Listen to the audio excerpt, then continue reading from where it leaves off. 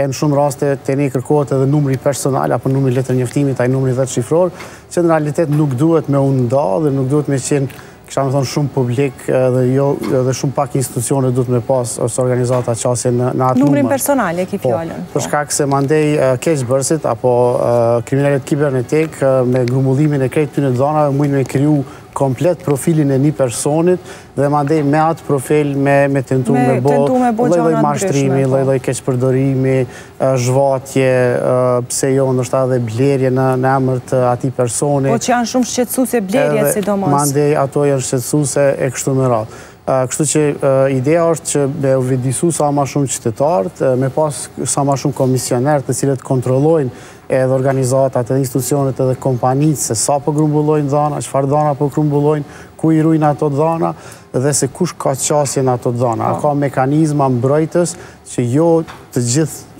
punëtorët ose punonjësit e një organizate një ose një institucioni të kenë qasje në ato dhana, po. por vetëm njerëz të besueshëm, njerëz që kanë ndjekë trajnime, e kuptojnë rëndësinë e dhanave personale, Edhe kuptojnë që jo të gjithë duhet me pasë qasje në ato dhana. E vërtetë. Dioni besoj mundet me na shpjegu shumë mirë se si mundemi me ra pre e sulmeve kibernetike, Dion, që e përmendi edhe Vetoni që është mjaftë shqetësuese. Po, në rastin tonë i takoj pak një background-i që është ma teknik i fushës.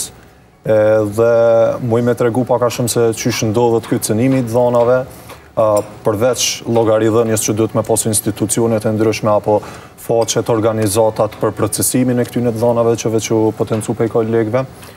Pra, ka sulme të ndryshme që mundën me ndodhë, ku mundën me u cenu pra këto të dhona. Njëri ndër sulmet që më së shpeshti që ndodhë, apo haset më shpesh, është sulmi phishing, për shembull, Çka është sulmi phishing? Sulmi phishing është një sulm ku ty dërgohet një e-mail dhe impersonohet një kompani e caktume, si për shembull Facebooku apo Instagrami, hej, ka hy dikush në account, e hin ndërro passwordin apo shkruje passwordin, jepe një të dhonë.